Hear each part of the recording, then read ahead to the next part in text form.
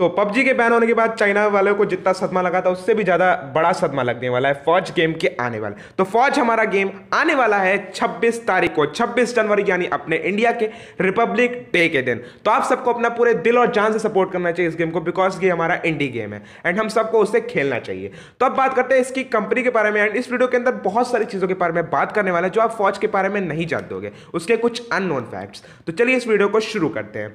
तो वो अलग बात है कि ये पबजी और फ्री फायर जैसे गेम्स का कॉम्पिटिटर बन पाए या ना बन पाए बट हम लोग इसको इतना सपोर्ट ज़रूर कर सकते हैं कि एक अच्छा गेम बनकर आएगा एंड गेमिंग की इस इंडस्ट्री में इंडिया का कुछ नाम रोशन कर पाएगा।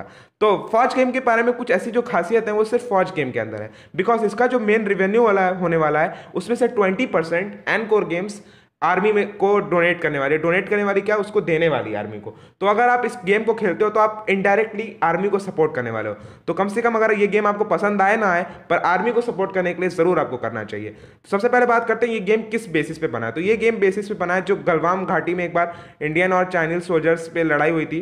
तो उसी पे बेसिस पे इसका जो रिलीज़ वीडियो आया था, वो आया था। तो बेसिकली आर्मी से रिलेटेड है एंड आपको इसमें एक आर्मी मैन की तरह आपको खेलना पड़ेगा। तो ये गेम काफ़ी इंटरेस्टिंग लगता है सुनने से एंड इसकी बात की ट्वेंटी परसेंट रिवेन्यू आर्मी तक जाने वाला है। तो ये बात तो दिल को छू जाती है हम सबको इस गेम को ज़रूर खेलना चाहिए। अब बात करते हैं इसकी कंपनी की। तो इसकी कंपनी है एनकोर गेम्स जो इस गेम को बना रही है, ये तो आपको पता ही होगा।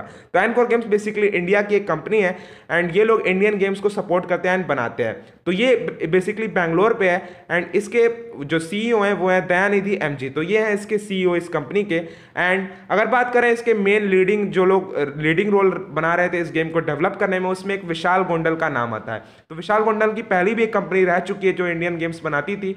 एंड उसको उन्होंने बेच दिया था डिज्नी को। तो अब ये लोग इस गेम पे मेन डेवलपमेंट का काम कर रहे हैं। And pre registration pre registration का जो लिंक था वो तो आ ही चुका था। उसका लिंक मैं डिस्क्रिप्शन में डाल दूँगा, आप प्री रजिस्टर कर सकते हो। एंड उसकी जो आने वाली डेट है वो 26 जनवरी को है तो 26 जनवरी तक हम लोग को वेट करना पड़ेगा उस गेम के आने पर। एनकोर गेम्स ने इसके ऑफिशियली बता दिया है कि 26 तारीख को ही आएगा। तो ये गेम तो आने वाला है गाइस आप सबको इसे ज़रूर सपोर्ट करना चाहिए। ये गेम कैसा भी हो सपोर्ट ज़रूर करना गाइस तो लिंक डिस्क्रिप्शन में डाल दिया हूँ। आप प्री रजिस्टर करके उसे खेल सकते हो एंड 26 तारीख से आप इसको आराम से खेल सकते हो, इस गेम को खेलना एंजॉय करना एंड लेट्स सी कि क्या होता है। क्या इंडियन इंडियन कंपनीज़ इस इंडस्ट्री यानी गेमिंग इंडस्ट्री में आ सकती है कि नहीं? एंड हमारे जो गेमर्स हैं, उनको मैं कहूँगा कि भाई उन लोगों को इस गेम को खेलना चाहिए because this is an Indian game अगर आपको इसके गेम प्लेस पसंद आते हैं तो एक मैं चैनल का नाम बता दे रहा हूँ इंटेल फेयर गेमिंग उसको आप जाके सपोर्ट कर सकते हो, वहाँ पे आपको गेम प्ले मिलेंगे। जय हिंद, जय भारत।